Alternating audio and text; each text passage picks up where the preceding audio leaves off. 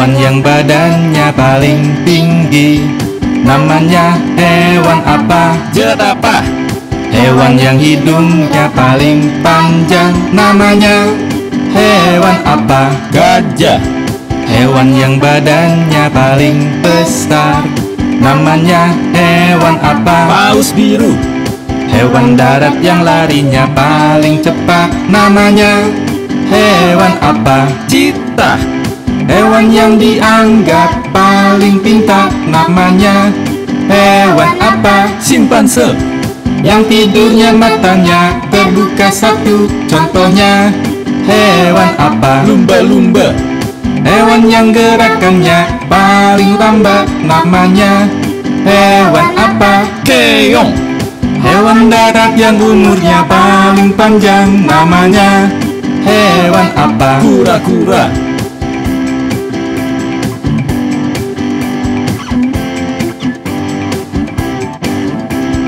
Burung yang badannya paling besar Namanya burung apa? Burung unta Ular yang badannya paling besar Namanya ular apa? Anaconda Kera yang badannya paling besar Namanya kera apa? Gorila Kadal yang badannya paling besar Namanya kadal apa? Komodo Hewan yang hidupnya memakan daging Namanya hewan apa? Karnivor Hewan yang hidupnya memakan tumbuhan Namanya hewan apa? Herbivor Hewan yang hidupnya memakan segala Namanya hewan apa? Omnivor Hewan yang hidupnya di dua alam Namanya hewan apa? Amfibi